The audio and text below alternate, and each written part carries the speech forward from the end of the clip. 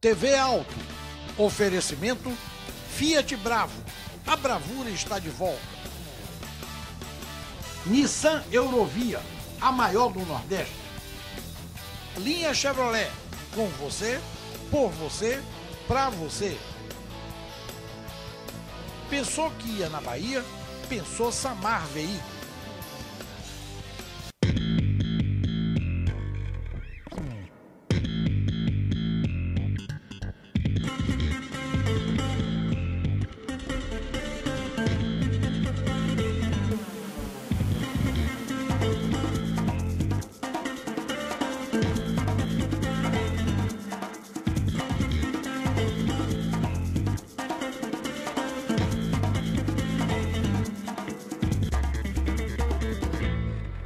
Bom dia. Esta semana, no lançamento do Sandeiro em Florianópolis, estado de Santa Catarina, eu ouvi uma aula de bom senso e de competitividade. O professor, nada mais, nada menos, era quem? Jean-Michel Jalinier, presidente da Renault do Brasil. E ele começou explicando que o porquê que o Renault Duster brasileiro, que vai ser lançado no segundo semestre, terá apenas 65% de peças nacionais ele disse que não é por falta de fabricantes de suas autopeças localizadas no país. Ele explica que fabricantes há, mas a, a competitividade local é muito baixa. É uma pena, não faz sentido para mim, mas é a realidade. É o que ele diz. Ele deu como exemplo as rodas do novo Sandero são importadas da Índia, mesmo com todos os custos logísticos e impostos. Chegam aqui 10% mais barata do que similares brasileiras. Outro exemplo que ele deu é antes comprávamos todo o aço que utilizávamos aqui mesmo no Brasil. Agora importamos 15% do nosso aço vindo da Coreia do Sul. O executivo demonstra grande inconformismo com o fato. Ele diz assim: temos tudo para ser um país competitivo, mas não somos.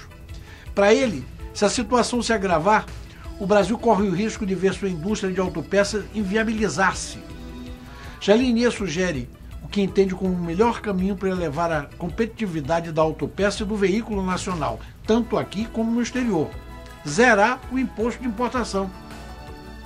Jalinier entende que tarifas de importação brasileiras, como aplicada em veículos de 35%, ajudam a mascarar a falta de competitividade da indústria nacional, que se alimenta dessa teórica barreira aos produtos de outros países e assim não atua com um afinco necessário no que diz respeito à questão.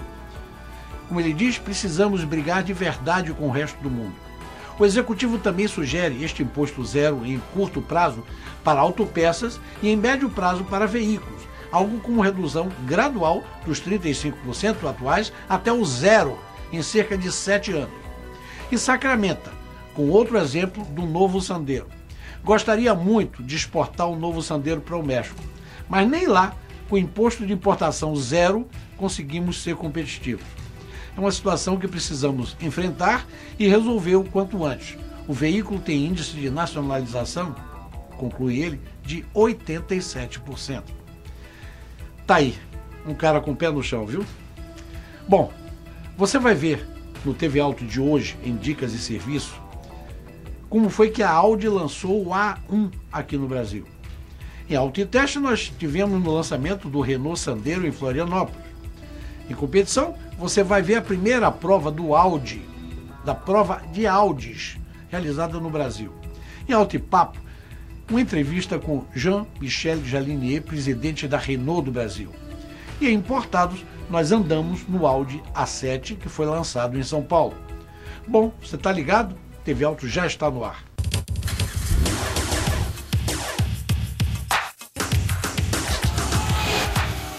Você vai ver agora como foi a inauguração da nova concessionária Hyundai na Bahia, a Caoa Hyundai. A Hyundai Caoa inaugurou na semana passada a sua primeira loja em Salvador. Para quem não sabe, o Grupo Caoa é o importador e distribuidor exclusivo da marca Hyundai no território nacional. A nova loja tem 15.258 metros quadrados e teve um investimento de cerca de 60 milhões de reais. Veja agora a entrevista com Leandro Ancerro, diretor responsável pelas concessionárias Hyundai no Brasil. Eu estou com uma pessoa chamada Leandro Ascenjo. Sabe quem é ele? TV Alto vai entrevistar o diretor da rede de distribuição da, dos concessionários da Hyundai no Brasil. Leandro veio para a Bahia para a inauguração da. Você veio para a inauguração do quê? Da maior concessionária do Brasil, da concessionária Hyundai Caoa. Leandro, me diga o seguinte: qual foi o investimento que vocês fizeram? Olha, aqui a gente tem uma área construída 16 mil metros quadrados e o investimento envolvendo tudo, todo o acabamento, inclusive com o terreno, gira em torno de 50 a 60 milhões de reais. Qual é, qual é a sua expectativa para esse mercado do Norte e Nordeste, principalmente da Bahia, mas do Norte e Nordeste, você que está responsável por todos os, os, os, concessionários, distribuidores da Hyundai? A gente olha com muito carinho para o Nordeste, que é uma região que cresce muito e principalmente o grupo decidiu fazer esse investimento em Salvador. A indústria de Salvador hoje gira em torno de 6.300 veículos por mês a indústria e a gente pretende realizar nessa loja, pelo menos nesse início, de 300 a 400 veículos novos vendidos por mês também. Então a gente tem uma expectativa muito grande, acredita muito no potencial do povo de Salvador. Um dos seus concessionários eu conheço muito bem. É um grande amigo, eu sei que vocês fizeram uma grande, uma, uma grande captação, trazendo, trazendo ele para ser concessionário. Exatamente. Numa região que é a região que mais cresce na Bahia. Exatamente. Então, eu estou falando de Tom Silveira. Para quem não sabe, vem cá, Tom, vem cá. Eu não podia deixar ele de fora, né? Fica aqui, Tom. Paulo. Tom, como é que, grande lhe ver, né? Como Sempre. É tá, como é que tá a sua, como é que tá a sua concessão? Fica aqui, Leandro. Vem cá, Leandro. Vem cá, Leandro. Cá. Vamos começar, né? Vamos começar agora lá na região, uma região muito rica, né? A gente tá esperançoso pra caramba. Realmente é uma região onde a expectativa é muito grande, né? E nosso desejo de crescer na região também é tão grande quanto a área plantada de soja e de algodão deles. Ó, ele disse que vai dar todo o gás pro Norte Nordeste. Falou, acabou de dizer para mim que vem bala pra gente. Então. Graças a Deus, eu conto com ele, eu preciso da, da, da bala dele mesmo. Tamo juntos. Tamo juntos, tamo juntos. Aqui é um grande parceiro, um grande amigo. Bom, agora em Dicas e Serviço, você vai ver como foi o lançamento do Audi A1 na semana passada em São Paulo.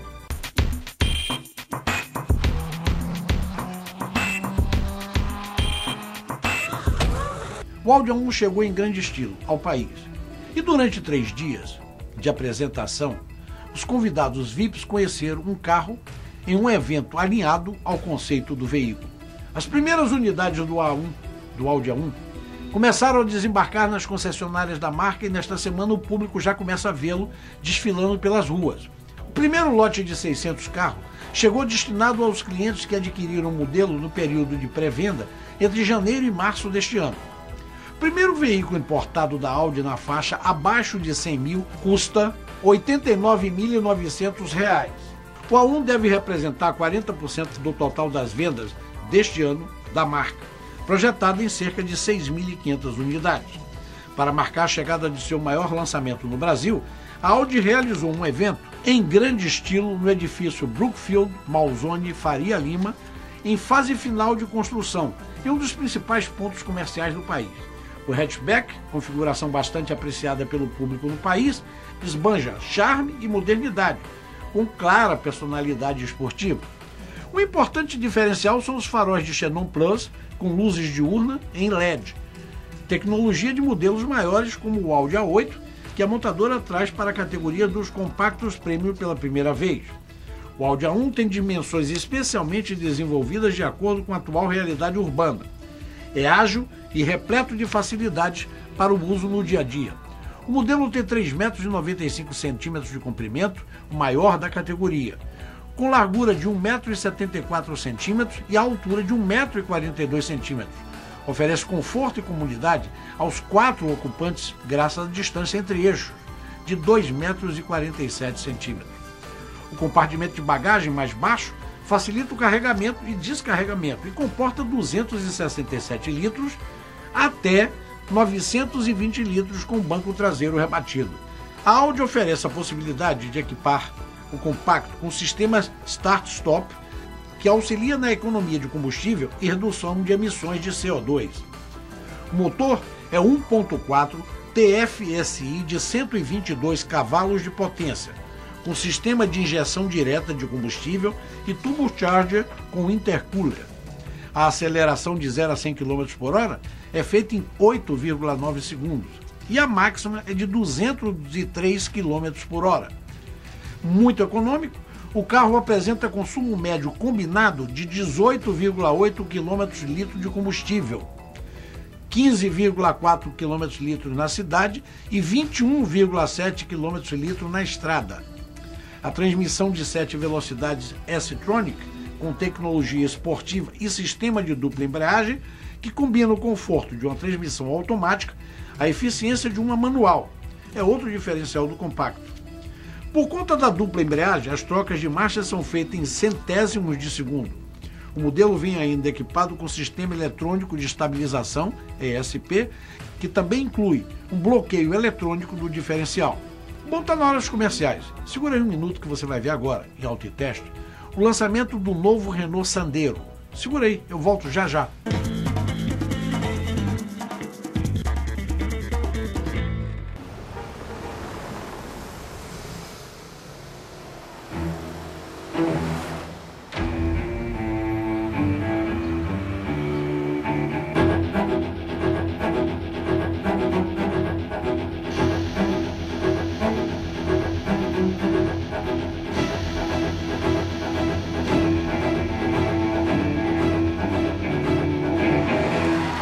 Fiat Bravo, a bravura está de volta. Feirão de vendas Nissan Eurovia. Todos os modelos com taxa zero. Não perca tempo, confira. Tida Sedan 1.8, entrada mais 36 vezes com taxa zero. Tida Hatch 1.8, entrada mais 24 vezes com taxa zero. Sentra 2.0 modelo 2012, entrada mais 24 vezes com taxa zero. Você só encontra essas e outras ofertas na Nissan Eurovia, a maior do Nordeste. Antônio Carlos Magalhães ao lado do Corpo de Bombeiros. Tudo que a Chevrolet faz é por você. A maior linha flex do país, uma ampla rede de concessionárias em todo o Brasil. Tudo isso é pensando em você. Investimos em tecnologia e segurança, desde o desenvolvimento até a aprovação dos carros no maior centro de testes da América Latina. Chevrolet, com você, por você, para você.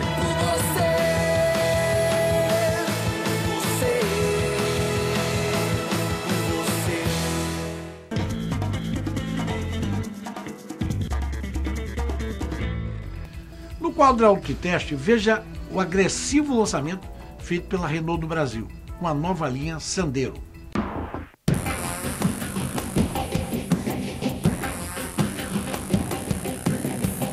A Renault do Brasil apresentou em Florianópolis, Santa Catarina, o seu Renault Sandero, com preços mais baratos que a linha atual, acredite se quiser. O Sandero Stepway tem preço inicial de R$ 42.800 e o Sandero Authentic tem preço de R$ 29.700. Veja como é que foi o lançamento.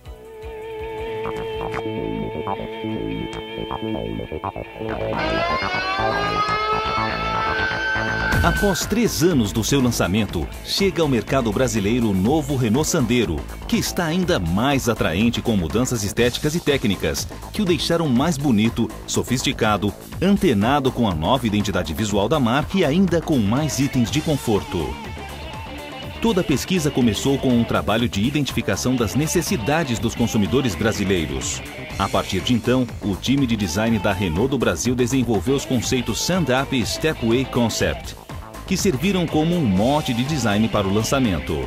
Ao criar o novo Sandero, o objetivo da marca era modernizar o veículo direcionando suas linhas para a nova identidade mundial da Renault Alguns atributos do novo Sandero tiveram sua inspiração em modelos europeus, como a dianteira que lembra do Fluence.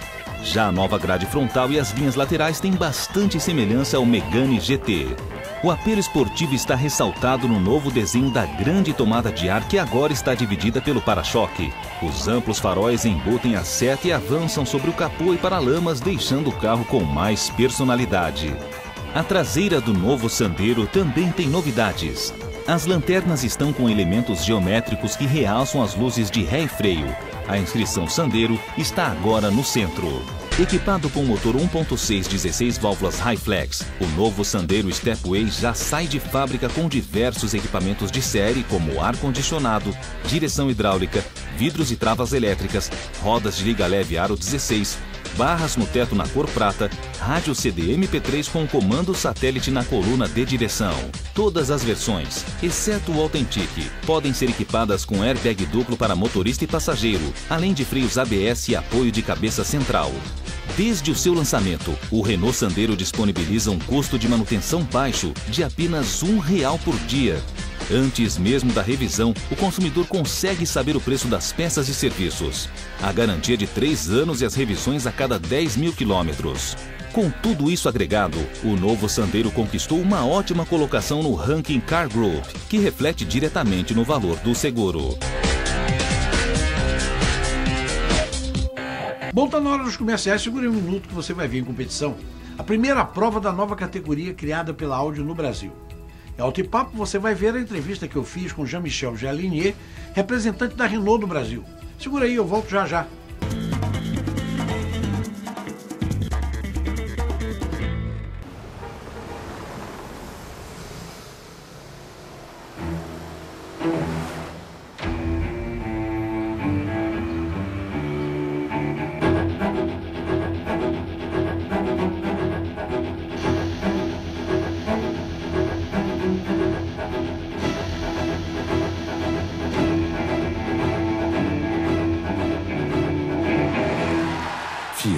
Bravo, a bravura está de volta.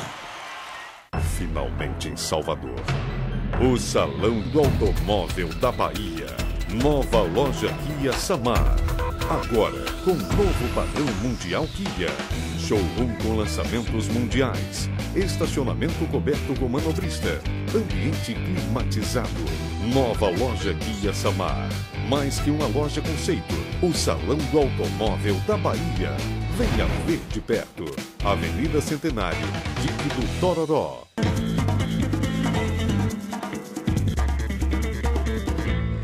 Em competição, veja agora a nova categoria que está nascendo no Brasil.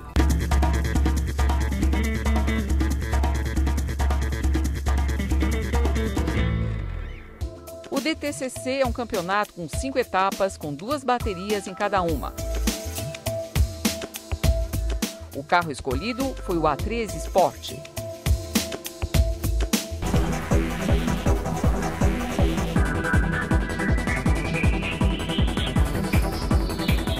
Chega a hora de ir para o grid. O coração bate mais rápido. A tensão aumenta. A adrenalina sobe.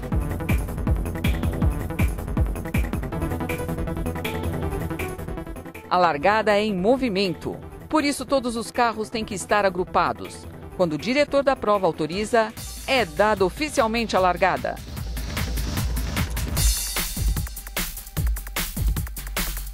O tempo fechou em Curitiba, mas a chuva não caiu durante a prova.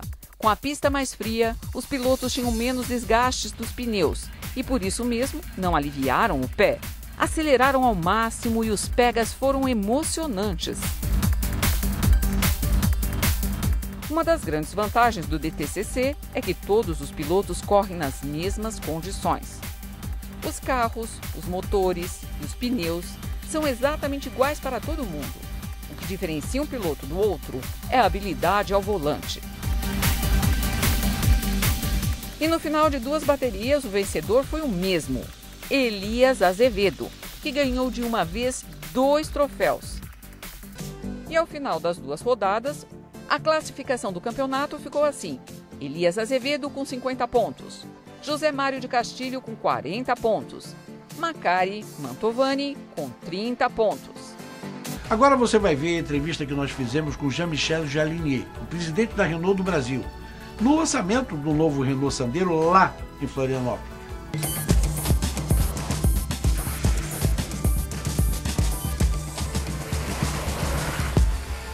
Eu estou com Jean-Michel Jalinier, é o presidente da Renault no Brasil e hoje está apresentando para todo o Brasil um carro mundial, o Sandero. Me fale um pouco sobre esse carro. Este carro, o novo Sandero, é muito importante para nós e temos orgulho porque é, é um carro que é só para o Brasil. Na Europa, na fora, não vão ter este carro. Este carro é para nós. E carro, o carro tem mudanças do design exterior, mas também mudanças grandes no interior do carro. E no preço. E no preço, no preço, estamos trabalhando com toda a, a cadeia de, de, desenvolvimento de um carro, desde o design até o comércio, agora aqui no Brasil. E temos engenheiros que estavam trabalhando sobre a redução do custo do carro. Conseguimos e decidimos de passar a redução de custo para o cliente. Maravilha.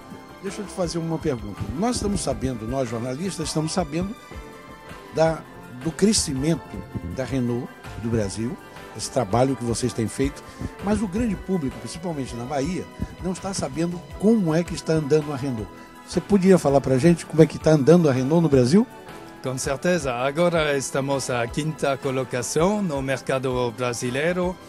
Nosso crescimento é, é, é três vezes maior do que o crescimento do mercado, que significa em volume um crescimento de 20% este ano em comparação a 2010. E esta dinâmica de crescimento é, é a dinâmica que nós precisamos para alcançar nosso objetivo de crescimento. Qual a no próxima novidade da Renault este ano para o Brasil? Ok, a próxima novidade vai ser até o fim de ano um novo veículo, uma SUV, como se chama, que é o Duster, que vai ser desenvolvido também aqui no Brasil, com o design brasileiro, para os brasileiros. Bom, está na hora dos comerciais, segurei um minuto, que nós vamos mostrar agora no último bloco, em importados, o lançamento e avaliação do novo Audi A7.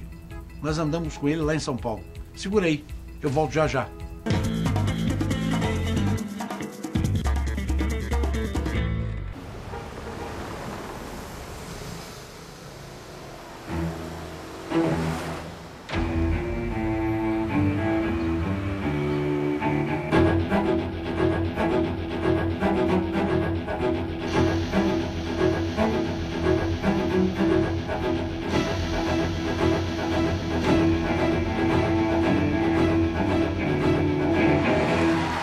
Fiat Bravo, a bravura está de volta.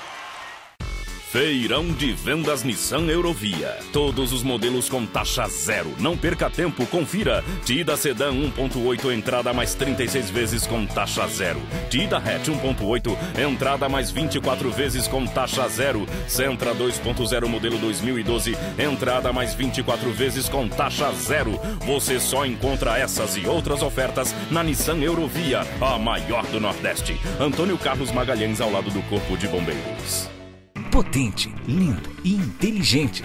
Com tantas qualidades, você também não vai parar de admirar. Civic LXL MT a partir de 62.990. Honda Imperial, a sua concessionária Honda.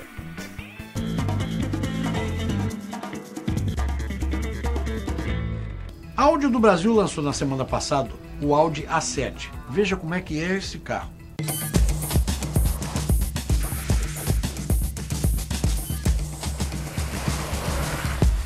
O TV Auto foi convidado pela Audi do Brasil para avaliar o novo Audi A7 em um trajeto rodando 180 km por estrada de São Paulo, mais precisamente de São Paulo a Mariporã. Isso porque a Audi estava lançando no Brasil este veículo. Valeu a pena. O novo A7 Sportback está posicionado entre o Audi A6 e o Audi A8, com 4,97 metros de comprimento, 1,90m de largura e apenas 1,42m de altura. O cupê de cinco portas tem visual arrojado graças a detalhes como longo capô, a linha de cintura elevada e a menor área envidraçada. Na parte traseira, o desenho ousado enfatiza uma queda acentuada da coluna C e cria a impressão de dinamismo. O teto baixo garante o caráter coupé do modelo. Na dianteira, os faróis são 18 LEDs opcionais usam diodos emissores de luz para desempenhar todas as funções de iluminação e consomem pouca energia. As luzes traseiras com LED são de série. O defletor de ar integrado à tampa do porta-malas ergue-se automaticamente quando o veículo atinge 130 km por hora, recolhendo quando a velocidade cai para os 80 km por hora. A capacidade do porta-mala é de 535 litros e pode chegar a 1.390 litros com o banco traseiro rebatido. A qualidade do acabamento é quase artesanal, com novos materiais como lâmina de madeira em camadas e um sistema de iluminação ambiente opcional para o interior. O modelo vem equipado de fábrica com a versão otimizada do sistema de multimídia MMI, que entre os opcionais conta com um novo display head-up que projeta as informações mais importantes relativas à condução no para-brisa, além de tela retrátil de 8 polegadas. Outra novidade é o sistema operacional Touch, que combina navegação por disco rígido com a conveniência da entrada touchpad. Para aumentar a segurança, o modelo pode ser equipado com o áudio Press Sense. Em situações de colisão iminente, o veículo iniciará as medidas de proteção preventiva através dos sensores de ESP, sistema de controle de direção, reconhecerá a condição de condução instável. Em seguida, os cintos de segurança dianteiros são tensionados e eletricamente as janelas e teto solar fecham, permanecendo somente uma pequena lacuna aberta. As lanternas de freio e os piscas alerta irão acender para avisar os outros veículos a situação de risco. O novo Audi Active Lane Assist ajuda o motorista a manter o Audi A7 Sportback na sua faixa de condução. O Park Assist System, também novo, facilita a baliza na hora de estacionar. O sistema de som Bose e o avançado sistema de som Bang e Olufsen, que possui 1.300 watts de potência e 15 alto-falantes, está nesse carro também. Bom, o TV Auto está chegando ao seu final. Na próxima semana, nós vamos apresentar para vocês, em dicas de serviço, você vai saber o que é o projeto biodiesel do grupo PSA. Em autoteste, a Mercedes lançou o Mercedes Classe C em Campinas e nós estivemos nesse lançamento. Em competição, a prova do Mitsubishi Cap em Londrina, no Paraná. Em Alto Papo, você vai ver a entrevista que eu fiz com Paulo Sérgio Kakinoff, presidente da Audi do Brasil, durante o lançamento do Audi A1. Em Importado, você vai participar conosco do projeto Land Rover Experience, realizado na semana passada em Interlagos. Bom, então para falar com o TV Alto é muito fácil. O e-mail é tvalto.terra.com.br. Também agora, se você não conseguiu assistir o programa TV Alto, você vai poder entrar na página www.tvautoweb.com.br e se atualizar vendo o programa TV Alto com toda a comunidade do mundo. Bom, até sábado que vem, se Deus quiser, no horário normal, ou seja, nove e meia da manhã, aqui na TV Aratu. E eu tô esperando, hein? TV Alto. Oferecimento Fiat Bravo. A bravura está de volta. Nissan Eurovia, a maior do Nordeste. Linha Chevrolet. Com você, por você, pra você. Pensou que ia na Bahia? Pensou Samar Veículos